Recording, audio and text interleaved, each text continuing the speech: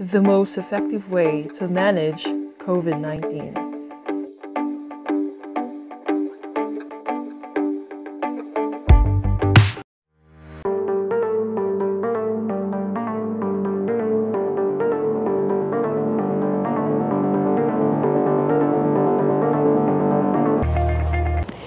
Viral replication generally stops by ninth day, which means if you want any benefit of antiviral, it should be given within 9 days.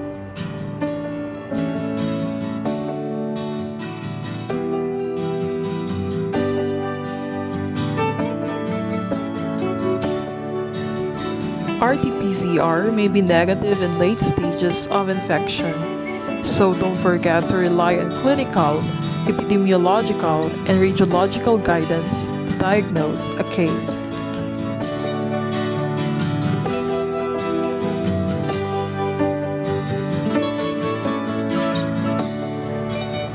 The best time for RT-PCR is after symptom onset, on the 5th to 8th day. False negatives lowest in these days.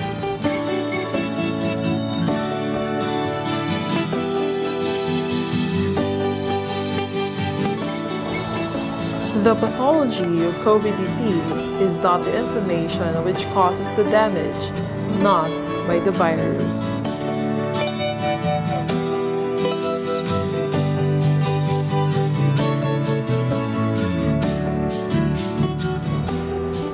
COVID, SLE, APLA, PID, and macrophage activation syndrome, HLH, are all similar the host immune system reacts against its own tissues.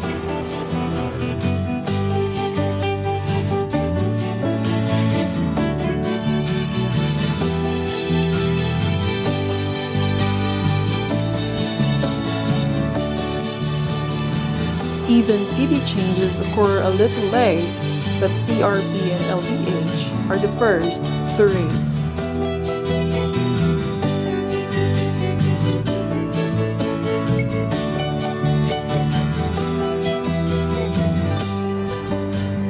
Clinically, the three dangerous symptoms are fever, myalgia, and exhaustion, which indicate high inflammation in the body.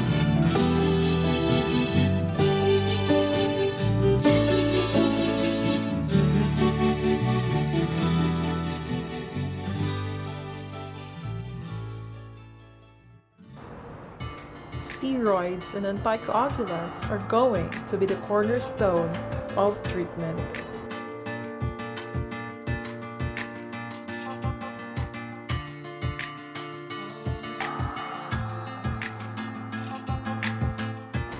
At present, steroids are recommended for people who become hypoxic. Start early steroid irrespective of hypoxia if CRP and other inflammatory markers are elevated. Oral prednisolone 20 mg tablet per day or dexamethasone 4 mg tablet per day for 5 to 7 days will do the job if there are mild symptoms.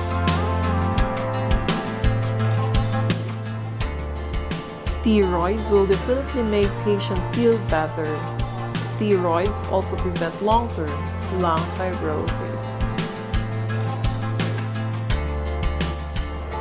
Dexamethasone, a steroid, has reduced mortality in patients with severe COVID-19. It is an inexpensive and a commonly available drug. The use of this drug has shown improvement in survival among COVID-19 patients in the UK. It has reduced deaths of patients on ventilators by one third and patients on oxygen by one fifth. These observations were made in a clinical trial based in the UK called Randomized Evaluation of COVID-19 Therapy. There is a controversy regarding when to start anticoagulant. Better to start it early if CT changes are seen as the changes in CT are actually microvascular thrombi.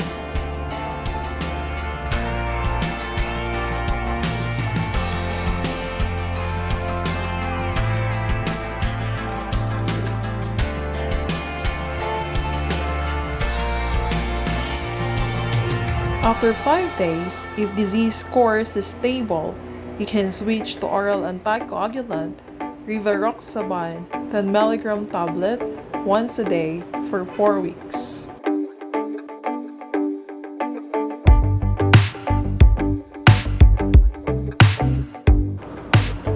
Preferable is inject methylprednisolone 40 mg IV twice a day or 3 times a day based on weight and severity of hypoxia. Switch to oral dexamethasone once course of antiviral remdesivir is finished. Steroids may be needed for 2 to 3 weeks if hypoxia is present.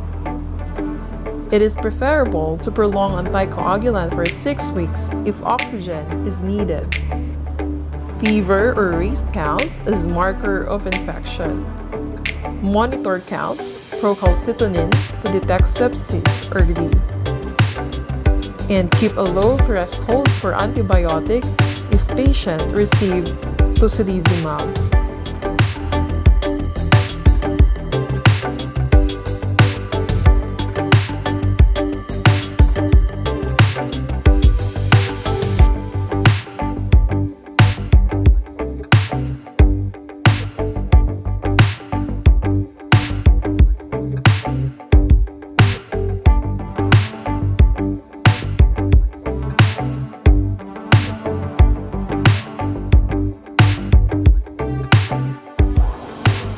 Monitor CRP, D-dimer, and other blood works needed every 2 to 3 days when patient is in the hospital.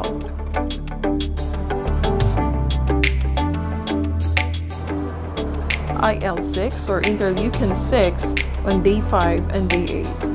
Any raise in IL-6 is a marker for an impending cytokine storm. IL-6 can return to normal with steroids and anticoagulant. Keep a low threshold for antibiotic if patient receives tocilizumab. The most dangerous period is from 8 to 12 days. That is when most people die. There are rare reports of late cytokine storm after 12 days.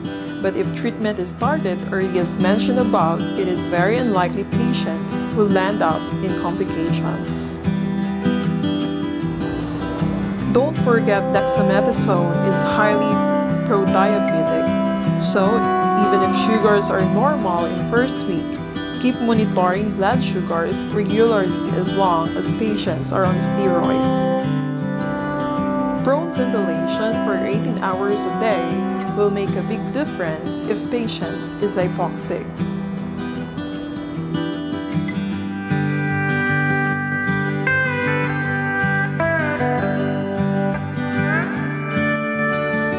No need to repeat CT chest after baseline unless patient has unexplained or sudden desaturation or worsening. Chest x-ray every 3 days is sufficient to monitor progress. Remember radiological changes may take weeks or months to clear. Do not get panic. Remember, they are blood clots, not regular pneumonia. Improvement in oxygen levels is the marker for clinical improvement no need to monitor anything else once oxygen starts improving.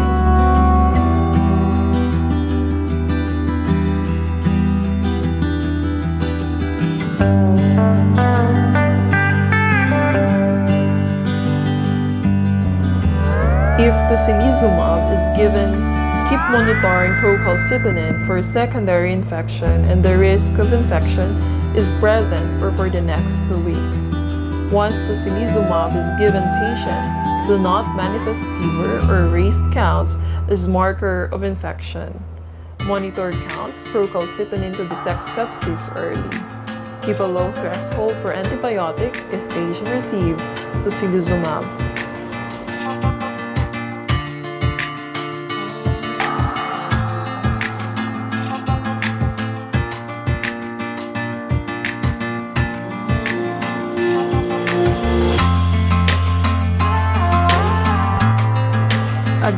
to reiterate, it is inflammation which kills, not the virus. Heat inflammation hard and early and be alive for two weeks.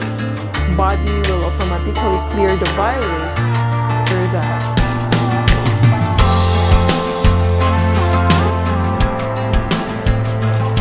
Ten to fifteen percent do not develop antibodies post-COVID. Reason for it are probably some really don't develop antibodies or develop some B-cell immunity or dominant IgA antibody response in respiratory mucosa and not systemic IgG response. So, post-COVID immunity passport is invalid.